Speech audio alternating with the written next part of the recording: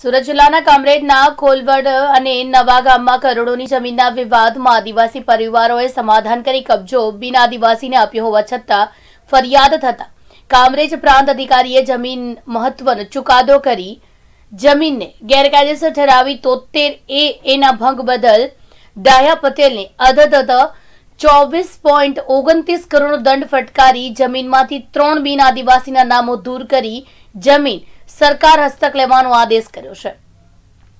કામરેજના ખોલવડના reserve block number એકત્રીસો એકત્રીસની છ ચોરસ મીટરની જમીન તથા નવા ગામના બ્લોક નંબર સત્તાવનની તેર હજાર પાંચસો સત્તાવન ચોરસ મીટર તોતેર એ એ વાડી તથા નવી શરતની જમીન મકનભાઈ હાથિયાભાઈ અને તેમના પરિવારજનોના નામે ચાલતી હતી.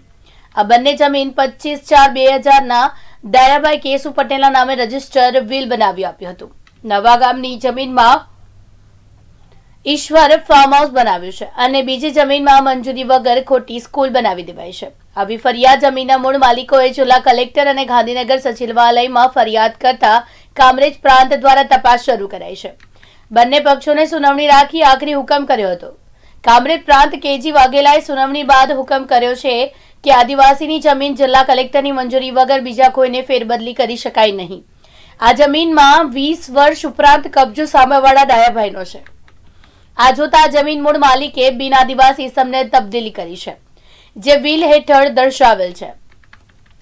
આ જમીનના માલિક દ્વારા તથા સામાવાળાઓએ જમીન મહેસૂલ કાયદાની કલમ તોતેર એની જોગવાઈનો ભંગ કરી જમીનનો કબજો ગેરકાયદેસર જાહેર કરવા પાત્ર થાય છે. આથી જમીનની પ્રવર્તમાન બજાર કિંમતની ત્રણ ગણી રકમ દંડ વસૂલવા માટે આદેશ કરાયો છે. જેમાં કોલવડની જમીનના પાંચ પોઈન્ટ નવ્વાણું કરોડ અને નવા ગામની જમીન અઢાર પોઈન્ટ ત્રીસ કરોડ મળી કુલ્લે રૂપિયા ચોવીસ પોઈન્ટ ઓગણત્રીસ કરોડનો દંડ ડાયાભાઈ પટેલે ફટકાર્યો છે. આ બંને જમીન સરકાર હસ્તક દાખલ કરી તલાટીને સોંપી દેવા તેમજ જમીન પર ગેરકાયદેસર કબજો કરનાર ડાયાભાઈ પટેલ કાંતિ કેશવ પટેલ અને કૃષ્ણકાંત ભીખાભાઈ પ્રજાપતિને કબજામાંથી દૂર કરવાનો આદેશ કર્યો છે.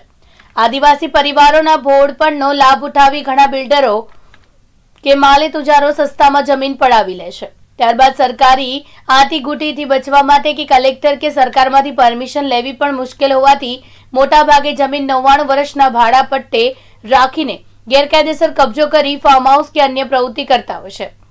તેમના માટે આ હુકમ લાલબત્તી સમાન છે. જો ગેરકાયદેસર કાર્યવાહી થાય તો સરકારને દંડ અધતા આવક થાય તેમ છે. આદિવાસી પરિવારે ડાયાભાઈ પટેલને જે વિલ કરી આપ્યું હતું તે વિલ રદ કરવા માટે ગોમતીબેન હત્યાએ ઠાકોર કઠોર કોર્ટમાં અરજી કરી હતી. બાદમાં બંને પક્ષકારો વચ્ચે સમાધાન થતા વિલનો હુકમ થાય તે માટે હુકમ પણ થયો. જો કે કલેક્ટરની મંજૂરી વગર આદિવાસીની જમીન બીજા કોઈને ફેરબદલી કરી નહીં શકાતી હોવાથી મહત્વનો હુકમ કરાયો હતો.